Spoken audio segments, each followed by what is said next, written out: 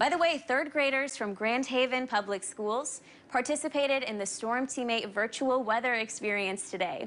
Students at Peach Plains Elementary logged on for an interactive hour of weather fun with meteorologist Ellen Bacca. Each classroom received a kit with experiments so students can make snow and clouds with their teacher. Our team of animated weather characters also joined in on the fun to bring West Michigan weather to life. To see more from today's visit with the students in Grand Haven, check it out on the weather experience section at woodtv.com. Okay. They're always working your hair over with that balloon. Oh, you should see how much time I have to spend fixing it up again after that happens. Yeah, there's a lot of static electricity going on That's there, right. but, That's but it's worth it to see the kids having The so much Absolutely. kids love it. Yeah. Thanks, Thank you, Emily. Emily.